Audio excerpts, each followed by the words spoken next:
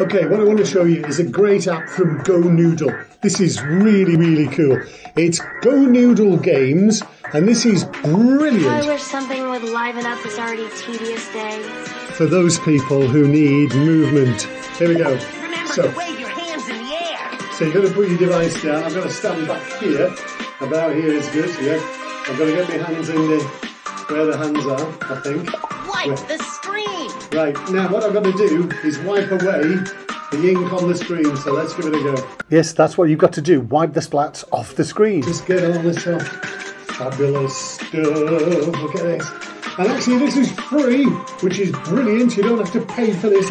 And the great thing is, when you get really bored of that one, you can swap it to something else. Bubble Pop is really nice. However, it does have the same really annoying music. There it goes.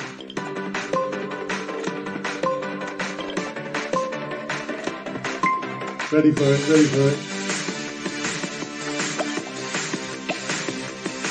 This is wonderful for many of our learners who need to move, You need that proprioceptive and vestibular. They're actually not easy. And you've, you've got to be fairly quick, to be honest. Right, get in, get in, get in. One, two, in, in. What am I looking out for? Shark! Ugh. Ah, so you've got to bob down for the shark. Get yourself back. Oh, that's better. And there's more. Use your whole body to clear the weeds. hand-eye coordination, fine and gross motor control, all of those things come into this. It's a very visual app, but it's brilliant for movement. What I would do in a sensory space is put this onto a projector. With your iPad sitting down on the floor, it'll pick up all the movement and it'll be amazing.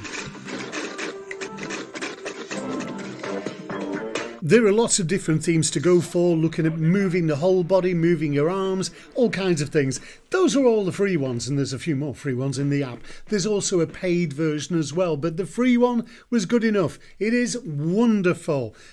It's called Go Noodle Games, and it is really worth getting.